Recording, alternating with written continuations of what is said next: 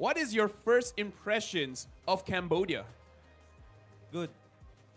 He said that th- when he first touched down in Cambodia, it's uh-huh. amazing. He's seen the people here. He feels so welcome. He loves the weather. And everywhere he goes, it's been amazing. No, it's been good.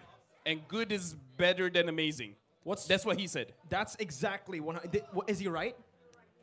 Yeah. Dude, I speak Tagalog, man. Okay, you, you, you want to see more? You want to see more? Yes, You wanna please. see more? Is it fun being in Cambodia? Oo.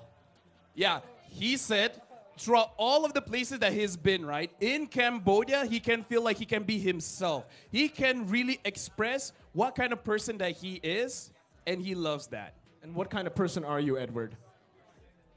Ah, kind.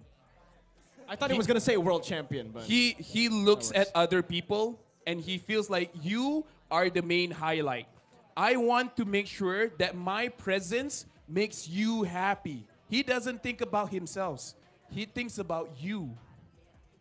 thank you, Edward. That's very heartfelt, man. That's very heartfelt. Renejay, you want to get asked the question? Y- y- Lafel, he wants to get asked the question. Then ask the we're, question. We're not letting him go. Okay, okay, okay. Renejay.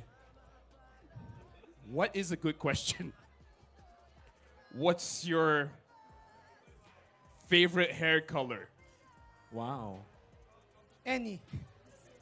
He loves to explore with his body, and his hair is a way to express how he feels. So he would he would like in his lifetime to change his hair color to every color that he can, so that when someone sees Renejay, they immediately know what kind of emotions he's displaying. He's like an anime character, yeah. He, he is an anime character. Was that accurate? Was was my my translation of Tagalog correct? Just say yes. no, you can be honest, man. No. There you go.